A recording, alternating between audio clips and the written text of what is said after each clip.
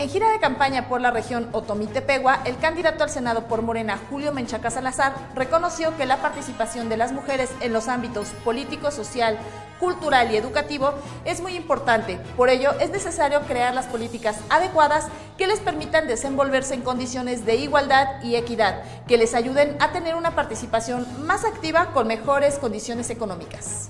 Darina Márquez Uribe, candidata al Senado de la coalición por México al Frente, advirtió que para disminuir la deserción escolar propone que debe de existir una profesionalización de los docentes para impulsar y estimular a los estudiantes a continuar con sus estudios.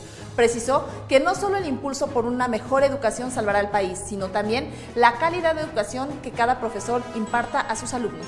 Nubia Mayorga Delgado, candidata al Senado de la República de la coalición Todos por México, visitó el municipio de Pasoyucan, donde refrendó el compromiso de luchar juntos por mayores beneficios para las mujeres, las familias, los jóvenes, el campo y las poblaciones indígenas.